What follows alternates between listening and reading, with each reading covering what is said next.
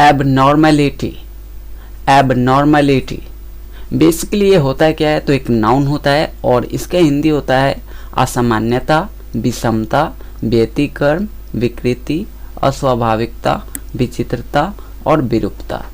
अगर हमको बोलना होगा इसको यूजेज में कैटलिन का जन्म जानलेवा हृदय असामान्यता के साथ हुआ तो हम बोलेंगे Caitlin was born with a life threatening heart abnormality यानी कि कैटलिन का जन्म जानलेवा हृदय असामान्यता के साथ हुआ था। तो आई होप आपको ये एबनॉर्मेलिटी का फंडा क्लियर हो गया होगा। चैनल पर नए हो, चैनल को सब्सक्राइब करो और साथ ही साथ इस वीडियो को एक लाइक ज़रूर करिए